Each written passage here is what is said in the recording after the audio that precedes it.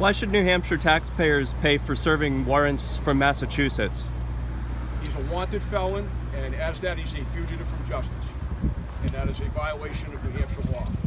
Give us a ballpark estimate as to the cost of this raid. I couldn't possibly give that to you at this moment. Folks, uh, we're done answering questions right now. I will send out. Hey everyone, Derrick J here. It's June 8th, 2017, around um, 8.15, and I am driving home from a day out at the shooting range, and I saw a lot of police outside of a place in Hampton on my way home, Hampton, New Hampshire.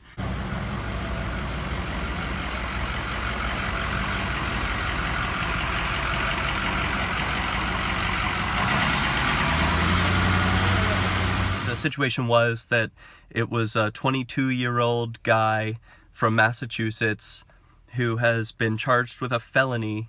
Uh, they wouldn't say what felony that was, um, but they obviously presumed that he was violent. Um, they did gas the house to try and get him out. They were there for several hours, and uh, he was staying with a friend. All set? Thank you.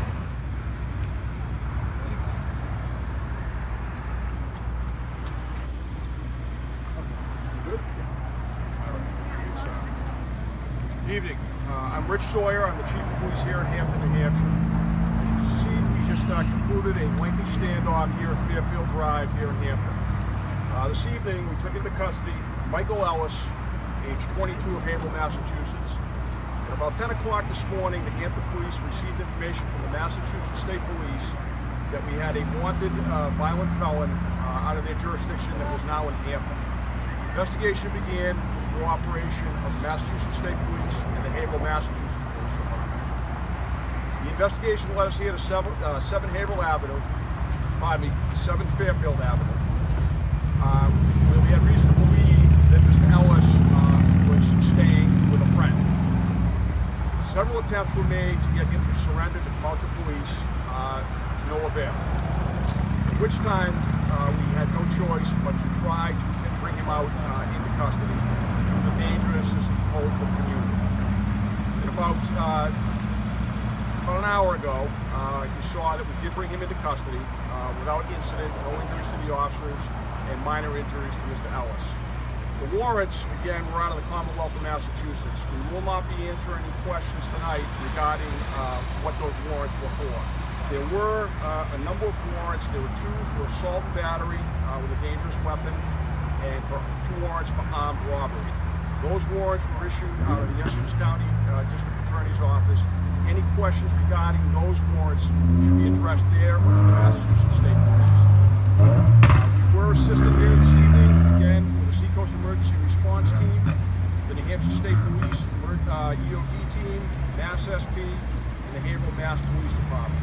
We do want to thank the folks in the neighborhood for your cooperation. This, again, was a lengthy standoff uh, and quite an inconvenience for the neighbors, and the cooperation uh, really did help us uh, bring this to a resolution. That was correct.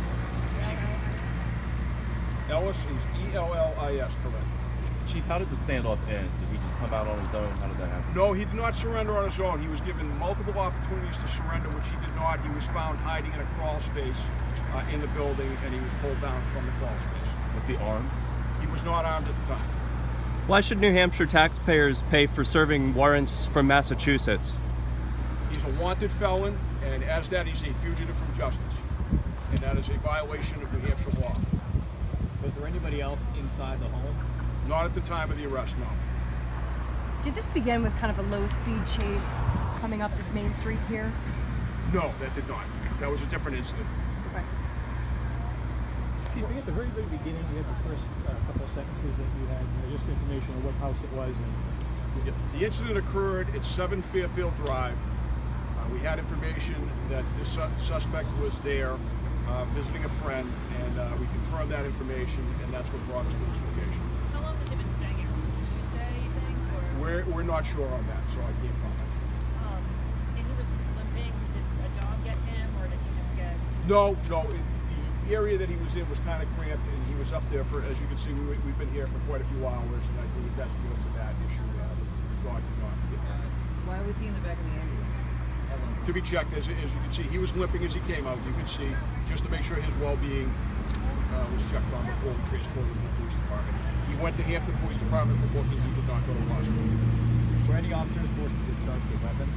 No, there was no discharge of weapons. Can you just talk about, I mean, these things can go terribly wrong, and obviously everyone behind you is safe, and he's walking and Toden didn't. Absolutely. I know sometimes folks get impatient when these incidents occur, but we, we take our time. We're very diligent, and everything is to protect the citizens around us, and, and certainly the person we're after. We don't want to harm anybody if we don't have to. We gave this, this individual every opportunity to surrender. We chose not to, and we were still able to take him into custody with a minor injury. Did you negotiate with him via cell phone or anything? No, we did not have any discussions with him. When was it determined that it was safe to enter and how? Those go into tactical areas which I'm not willing to discuss. Can you talk about the, I guess there were gas rounds earlier? I'm sorry, you gotta speak up a. There, there were gas rounds or something earlier? We heard some. The it sounded- popping sounded noises? Like, yeah. Yes, we did deploy a number of gas canisters to try to force him to come out of the building. Give us a ballpark estimate as to the cost of this raid. I couldn't possibly give that to you at this moment. Folks, uh, we're done answering questions right now. I will send out a uh, picture of uh, Mr. Ellis tonight. If you don't get my press releases, then you can email me at dhobbs at hamptonpd.com and I'll set- attach you to my press release contacts. I'll send you out the picture tonight. All right? One more time, what was that email? I'm sorry. D H O B B S at hamptonpd.com. Thank you.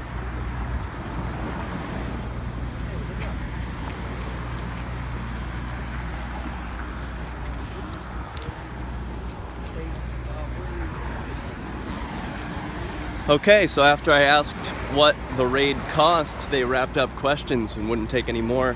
Said they'll be issuing a press release.